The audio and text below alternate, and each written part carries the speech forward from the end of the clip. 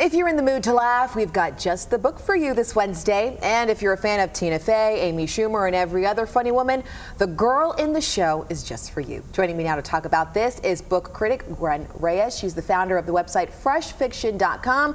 Gwen, thanks for stopping by. So these are some funny women I just mentioned. Yeah. But we're also talking about some serious themes here. Like Absolutely, feminism, like right? feminism and pay, disqual- or, uh, pay disparity within the comedy industry, Mm. actual time, which is another way that men uh, kind of control how women are put on stage. So that's one of the things that's discussed in this book, which I thought was really fascinating. And since it is um, National Women's Month, it's a perfect time to talk about it. Mhm. So let's talk about the format because I understand there are a series of interviews. Yeah, this so there's a series of interviews because what um, Anna Fields, who's the author, what she's trying to do in this is to span three generations of comedy.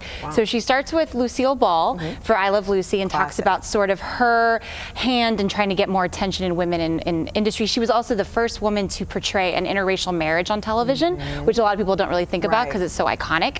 Um, and then we have Gilda Radner, who was the first female cast member of SNL. And so we talk uh, to people who knew her during the time. And then this ends with Abbi Jacobson, who is the uh, showrunner and co-star of the show Broad City. So this is a nonfiction. This is nonfiction. But we're also learning a lot of history. While I would assume she also mixes in some humor with this, Oh, right? How would absolutely. you Because she's, this? she's I, I would definitely classify this more as a nonfiction book that is touching, that is the subjects of these people, of the uh, books are all uh, comedians. Okay. And uh, she likes to call, she came up with a new phrase called comedian ballerinas. Oh, that's so. I know, I thought it was kind of weird. I was like, all right, you could just say comedian, that's fine. um, but what I thought was really cool about this is that she wants to kind of touch onto these very serious subjects, but with a lighter hand. And a lot of these interviews that she does, they're all kind of joking about things with their tongue in their cheek, which is really fun. so I'm wondering the age group that would be Mm-hmm. appropriate for this book. Are we talking younger girls, more so adult women?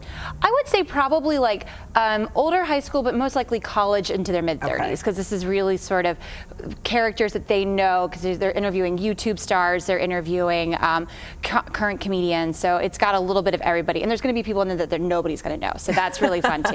There were people in there that I was like, I don't know who these people are. But you learn a lot. So the thing is, when you when you're done reading this book, do you walk away as a woman feeling empowered, or are you kind of just bashing men along the way? Is that part of the? No, uh, that you know, it's a really great point that you bring that up because yes, of course, there's touching into. We've the seen that happen, We've definitely right. seen that happen where it's just kind of let's take down the patriarchy. But in this Mm-hmm. one, it's really kind of holding the women up higher Nice. and also talking about their flaws and talking about their struggles. And um, I think that that was what sort of held this book out in a different way. And it's trying to be academic, but it's a lot more accessible than some of the books that you would read in like women's studies classes. different approach. I like it. Well, thanks for stopping Mm-hmm. by, Gwen. Sounds like a good read, so you can enjoy that as you continue on with this spring break. Nice weather, but of course, there are changes coming.